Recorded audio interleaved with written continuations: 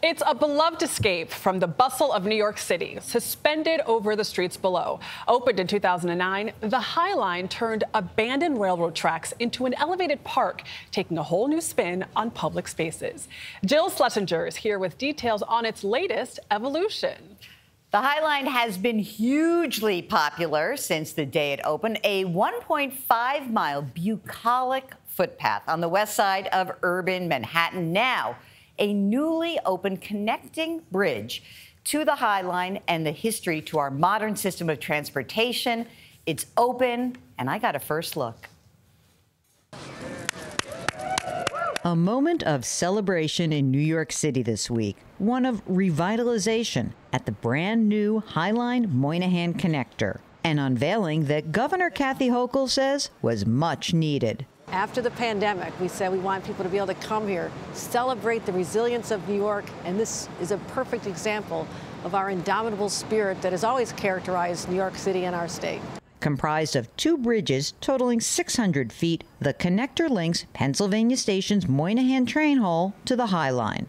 Alan Van Capelle is the executive director of the nonprofit Friends of the High Line. This is the timber bridge. It's over 2,700 pieces of yellow Alaskan cedar that was harvested in Oregon, sent up to Vancouver, where it was assembled. A 90 year evolution from an elevated train line used to transport millions of tons of meat, dairy, and produce to an urban oasis conceived by community members Joshua David and Robert Hammond in 1999. Fast forward to 2021, and the newly renovated Moynihan Train Hall sparked another dream to seamlessly connect millions of rail passengers to the High Line.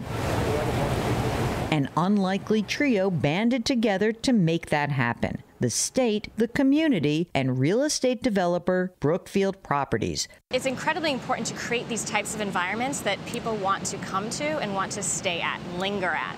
Callie Haines is Brookfield's executive vice president. There is that commercial aspect of it, of creating areas and experiences in the city that give it a new sense of life. But that doesn't come cheap. What did each part of this triumvirate have to pony up to make it happen? So Brookfield contributed $20 million to the effort. The state of New York, through the Empire State Development Corporation, contributed $20 million to the effort. And Friends of the High Line raised $10 million privately through philanthropy to help make this happen.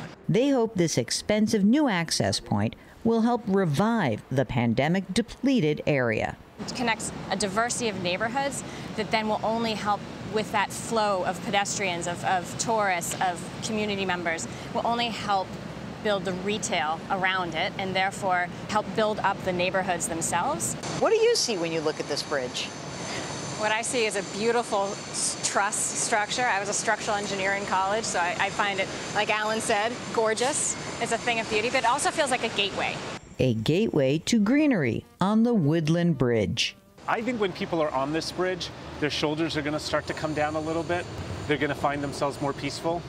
They're going to see amazing world class public art.